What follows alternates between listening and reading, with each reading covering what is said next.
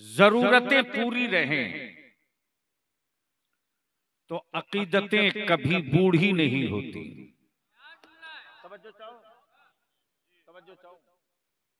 जरूरतें मुकम्मल हों।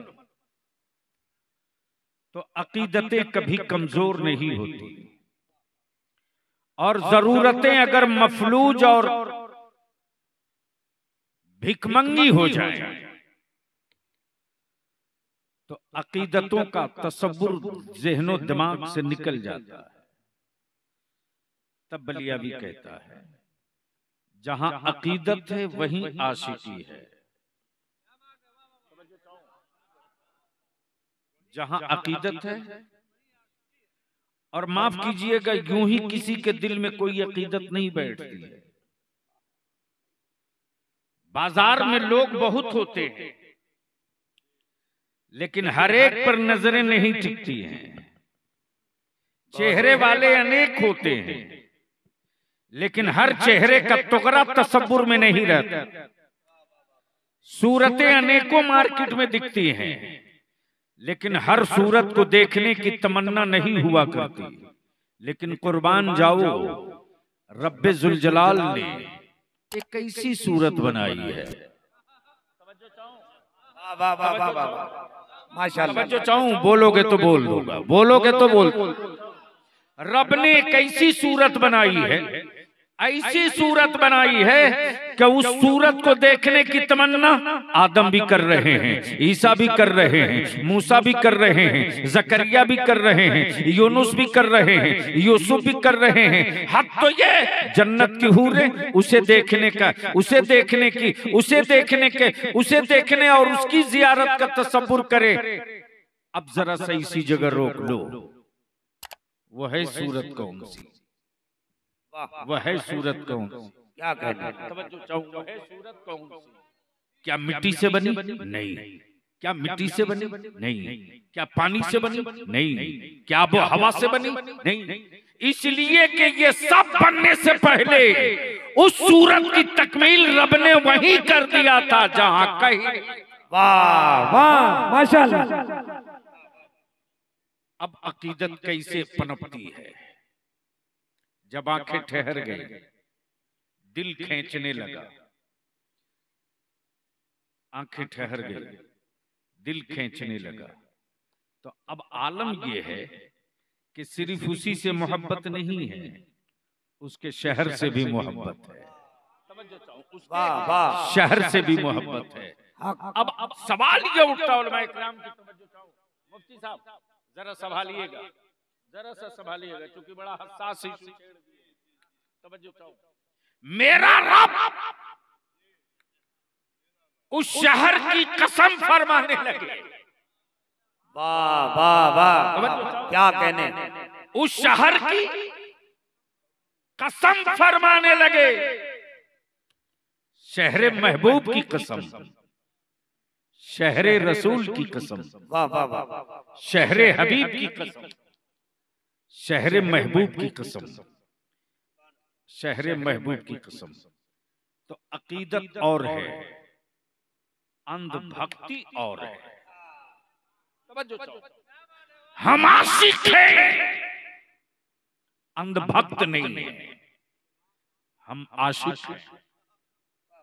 अंधभक्त नहीं। है और इश्क उसी से होता है। इश्क उसी से होता है। जहाँ नज़रें ठहर जाए जहाँ दिल टिक जाए। लेकिन यहाँ तो छोड़ यार हम उनके आशिक हैं। जहाँ नज़रें नहीं ठहरती रूह जाकर ठहर जाती है। नारे तकबीर नारे रिसालत।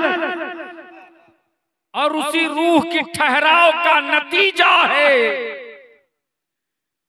कि निकाह हो बेटे का बाद में मिलाद हो महबूब की पहले। जनाजा उठेगा हबीब जनाजा उठेगा बाप का बाद में ज़िक्र रसूल की महफिल होगी पहले। बाप का तीजा होगा। बहुत ज़िक्र नबी की महफिल होगी पहले। अब जरा सा तस्वुर कर लो। ईट पत्थर कंकर चुनकर घर बनाया आपने। दाखिल होंगे बाद में। नबी की मिलाद होगी हबीब की मिलाद होगी पहले। तो अब जरा सुनने का कुछ माहौल बन चुका है। तो थोड़ी देर के लिए नहीं बल्कि एक बार और मोहब्बत से कह दे सुबह अल्लाह अल्लाह एक बार जरा स्टेज वाले धीरे से बोल दें सुबहान अल्लाह मैं शायद इतना कभी नहीं बोल पाता। हाँ। या तो लोग हैरत से हमें देख रहे हैं कि यार ये आ कैसे गया। ये है। हाशिम अंसारी साहब सच ये है। वरना जल से महीने में पाँच सात आठ दस। बहुत नहीं। कैंसिल करो जो ले लियो उसको भी करो यार छोड़ो। मैं जानता हूँ कि ज़िंदगी के लम्हा कम बचे हैं काम बहुत है। अगर कर सको तो कर लो। वरना याद रखना वो दिन बड़े करीब हैं तेरे दरवाजे पर दस्तक देते हुए।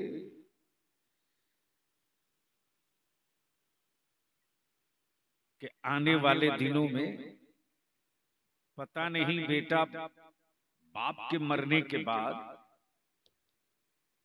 क्या सलूक करेगा? लेकिन मेरे उलमाए कराम की एक मुश्तरका और अंथक कोशिशें हैं। आप सुनो न सुनो आप जागो न जागो। आप मानो ना मानो। आप एहसास करो न करो। लेकिन मेरा जो आलिम जहाँ है वहीं से आपकी नस्लों के तहफुज के लिए अपना काम वैसे ही कर रहा है। जिस तरह एक मुअज्जिन 24 घंटे में पाँच वक्त मस्जिद के मीनारे से कर रहा है। तुम सुनो ना सुनो वो सुनाए जा रहा है। तुम आओ या ना आओ वो पैगाम दिए जा रहा है। तुम मस्जिद के दरवाजे पर बैठे रहो फिर भी कोई कम नहीं वो सुनाए जा रहा है। अब आइए जरा जहन को करीब कर लीजिए। एक है अकीदत। अकीदत। ने कहा चल अजमेर शरीफ। ले चल पाँच लाख की चादर। तवज्जो थोड़ा कड़वा है। और सख्त भी है।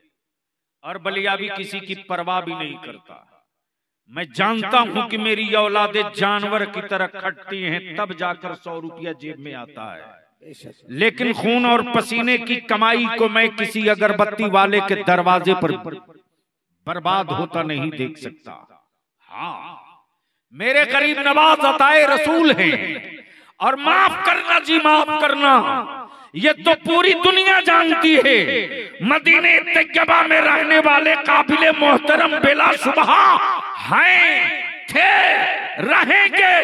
लेकिन नबी के इश्क का सूरज जो बरेली के भारत से निकला है वो कहीं और से नहीं निकला। नारे तकबीर नारे रिसालत। मुस्तफ़ा के शहर में घर बनाना कमाल नहीं। वो कौन सा मिसरा था आपका? तमन्ना है? वहीं पे एक छोटा सा घर बनाने की तमन्ना है। मुझे भी रोज़े आका पे जाने की तमन्ना है। अजमत पढ़ रहे थे तो मैं सोच रहा था। तमन्ना बहुत आसान है। अल्लाह अकबर। बहुत आसान है। तमन्ना करनी चाहिए। ये अलामत ईमान है। खूब करो। लेकिन जाने से पहले जाने से पहले अपने आप को इस लायक तो बना लो। हज़रत सैयदना इमाम मोहम्मद। इमाम मोहम्मद। ने अपने उस्ताद से कहा क्या कहा? हुजूर मैं हज को जाना चाहता हूँ। सुबह अल्लाह ज़ोर से बोल दो। सुनोगे तो बलियाबी की तकरीर हो जाएगी। ज़ोर से धक्का ना देना पड़े। तवज्जो क्या कहा? मैं मदीना जाना चाहता हूँ। सैयदना इमाम मोहम्मद मुस्कुराकर फरमाते अपने शागिर्द को क्या तुमने अजमत मदीना समझ लिया है? अल्लाह अल्लाह अल्लाह अल्लाह क्या तुमने अजमत मदीना समझ लिया है? अरे वो शहर रसूल है। जहाँ जिबरील भी बेजाजत ना आवे वो दरबार मुस्तफ़ा है जिस फरिश्ते को एक मर्तबा मौका मिल जाए उसे दोबारा मिले ना मिले। वो मेरे महबूब वो रब के महबूब का वतन है। क्या अजमत मदीना समझ लिए हो? फिर कुछ दिनों के बाद अर्ज़ की शागिर्द ने हुजूर हज को जाना चाहता। मदीने जाना चाहता। फरमाया मैंने कहा था ना कि मेरे रसूल के शहर पाक की अजमतों को समझ लेना। दिल से सुनना गौर से सुनना। हाँ गौर से सुनना। तीसरी मर्तबा जैसे ही शागिर्द ने कहा कि हुजूर मदीने जाना चाहता हूँ, इजाज़त दे दे। फरमाया जा। अल्लाह क्या कहा? बोलोगे तब बात बनेगी। क्या कहा? जा। चले। इमाम मोहम्मद का शागिर्द है। हदीस तफसीर। शरीयत मारिफत तरीकत सब पिए हुआ है हज़रत थोड़ी सी पीछे जाके सो जाइए मुलाजा फरमाइए। अल्लाह अकबर। शहर पाके रसूल का नाम लेने में भी लगता है मेरे मौला मुँह में कुछ फंसा तो नहीं है। जहन करीब करना। चले हैं सैयदना इमाम मोहम्मद के शागिर्द। तबाफे काबा हो चुका। सफ़ा मरवा पर दौड़ चुका। सही से फरागत हो गई मक्के के सारे अरकान अदा कर लिए। पहुँचे हैं शहरे मुस्तफ़ा में। ये उस इमाम मोहम्मद के शागिर्द। हैं जिस इमाम मोहम्मद के इल्म का आलम ये कि सत्तर ऊंटों पर उनकी किताबें लद करके चल रही हूँ। अल्लाह और जब सैयदना इमाम मोहम्मद शहर पाके रसूल में दाखिल होते तो पैरों में जूती नहीं है।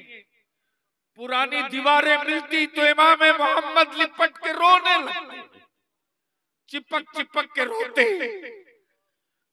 पुराने दरख्त मिलते तो उनकी जड़ों को खूब चूमते। इमाम मोहम्मद कभी बीच राह ना चले। कभी दाएँ कभी बाएँ कभी बाएँ कभी दाएँ कभी दाएँ कभी बाएँ। कभी पंजे के बल कभी उंगलियों के बल। ज़मीन पर पंजा चिपका के भी न चले। जैसे ही उलमाए अरब को मालूम हुआ वक्त का इमाम इमाम मोहम्मद आया है। उस पर एक दीवानगी की कैफियत थे वो चलता है तो बीच राह पर नहीं। कभी दाएँ, कभी बाएँ, कभी दाएँ, कभी बाएँ। और वारफ्तगी का आलम ये कि पुरानी दरो दीवार मिले तो लिपट लिपट कर रोता है। चूम चूम कर रोता है। तैयबा ने पूछ दिया इमाम मोहम्मद, तेरे इल्म का शोहरा है, तेरे इल्म का गागरा है। इमाम मोहम्मद, तुम्हारे इल्म का सूरज चमक रहा है और तुम्हारी हालत ये कि पैरों में जूती नहीं पहने हो और कभी दाएँ, कभी बाएँ बीच सड़क पर नहीं चलते। पुरानी दीवारों से लिपट लिपट कर रोते हो, पुराने पेड़ों की जड़ों को चूमते हो। सैयदना इमाम मोहम्मद फरमाते लोगों जैसे ही शहर पाके रसूल में दाखिल हुआ मेरे इश्क ने पुकार कर मुझे कहा खबरदार वहाँ अपना पैर मत रख देना जहाँ नबी का पाए नाज पड़ा हो। का नारे तकबीर नारे रिसालत अजमत मुस्तफ़ा। वाह वाह वाह, वाह, इसीलिए मैं कभी इसीलिए मैं इसीलिए मैं दाएँ बाएँ होकर चलता हूँ। और दूसरी बात ये कि मुझे याद है मैंने पढ़ा है जब आकाए कौनैन चला करते थे तो दाई तरफ़ अबू बकर होते थे बाई तरफ़ फारूक आज़म होते थे बीच में रसूल करीम होते थे इसलिए मैं कभी दाएँ कभी बाएँ चलता हूँ। किसी ने कह दिया ए मामे मोहम्मद उन पुरानी दीवारों को पकड़ कर क्यों चूमते हो। सैयदना इमाम मोहम्मद फरमाते लोगो मैंने पढ़ा है मेरे आकाए करम के कांधे अतहर पर एक चादरे मुकद्दस हुआ करती थी वो चादरे नूर हुआ करती थी आकाए रहमत का जब गुजर हुआ होगा और हवाएँ तेज चली होगी तो इन दीवारों से मेरे आका की चादरे पाक टकरा गई होगी नबी की चादर तो नहीं चूमा ए दीवारों आओ मैं तुझे चूम लेता हूँ तूने मुस्तफ़ा की चादर वाह वाह वाह वाह जिंदाबाद वाह वाह वाह जहन को हाजिर कर ये है आशिक। ये है आशिक। उसी इमाम मोहम्मद के शागिर्द। जब वापस लौटे हैं हज से तो सैयदना इमाम मोहम्मद के करीब गए। सलाम किया। बड़ी तबीयत में बात मजबूती से बैठी थी कि मैं शहर रसूल से वापस जा रहा हूँ। मेरा उस्ताद मुझको खड़ा होकर गले लगाएगा। मेरा उस्ताद मुझे गले लगाएगा। मेरा उस्ताद मेरी आँखों की पुतलियों को बोसा देगा। मेरा उस्ताद मेरी पेशानी चूमेगा। मैं शहर रसूल और रोज़े रसूल को अपने कैमरे, आँखों के कैमरे में कैद करके जा रहा हूँ। मेरा उस्ताद मुझ पर फख्र करेगा। सैयदना इमाम मोहम्मद की बारगाह में हाजिर हुए और जैसे ही करीब पहुंचकर सलाम किया। शागिर्द ने सैयदना इमाम मोहम्मद ने चेहरा फेर लिया फेर लिया चेहरा फेर लिया। फिर इधर घूम कर आए फिर सलाम किया फिर चेहरा घुमा लिया बाई तरफ़ फिर पलट के आए। तब तब शागिर्द ने अर्ज़ की आपने इजाज़त दी तब मैं गया तब मैं गया। खुद से नहीं जा रहा था आपने इजाज़त दी तब मैं गया। सैयदना इमाम मोहम्मद की आँखें सुर्ख होने लगी फरमाते तेरे जाने से पहले मैंने तुझसे पूछा था ना कि क्या तू मेरे आका के शहर पाक का एहतराम मर्तबा समझ लिया? बता मदीने तैयबा में से मदीने तैयबा की गलियों से जब तू गुजर रहा था तो क्या तुझे कोई कुत्ता मिला था? क्या तुझे कोई कुत्ता? मिला था? वाह वाह वाह वाह। सैयदना इमाम मोहम्मद के शागिर्द कहते हैं हाँ मिला था। एक बड़ा सेहतमंद कुत्ता मिला था। वो मेरी तरफ़ बड़ी तेज़ी से कई मर्तबा बढ़ा। मैं उससे बचते रहा। मैं उससे बचते रहा। मुझे डर लगता था कहीं ये मेरा कपड़ा न छू दे मैं खौफ में था कि कहीं वो मेरा कपड़ा ना छू दे मैं बहुत बचने की कोशिश किया। लेकिन आखिर में कुत्ता नहीं माना। जब मुझे यकीन हो गया कि ये मुझे छू देगा तो मैंने उस कुत्ते की पुश्त पे डंडा मार दिया। इतना सुनना था इमाम मोहम्मद, फरमाते, तूने जिस कुत्ते को डंडा मारा था देख मेरी पुश्त पर उस डंडे का निशान पड़ा है। वो डंडा किसी और की पीठ पर नहीं है मोहम्मद वाह नारे तकबीर नारे रिसालत गाजिए मिल्लत। आला हज़रत का वो शेर तुझसे शहदा हज़ार फिरते हैं। कोई तेरी बात कोई क्यों पूछे, तेरी बात रजा। कोई क्यों पूछे, तेरी बात रजा। तुझसे शहदा हज़ार फिरते हैं, वो शहर रसूल है, वो शहर पाके मुस्तफ़ा है। और याद रखना, भारत में नहीं, पूरी दुनिया में अगर कुफ्र को डर लग रहा है तो आजानों से नहीं डर लग रहा। मुस्तफ़ा के आशिकों से डर लग रहा। दुनिया जानती है कि अगर इश्क के संसार होकर निकल पड़ा तो बदर इसी दुनिया में करेगा, ओहद इसी दुनिया में करेगा, खैबर इसी दुनिया में करेगा, करबला इसी दुनिया में करेगा। इसलिए कि नबी का आशिक सब दे देगा, नबी की इज़्ज़त पर धब्बा नहीं हाय हाय हाय हाय।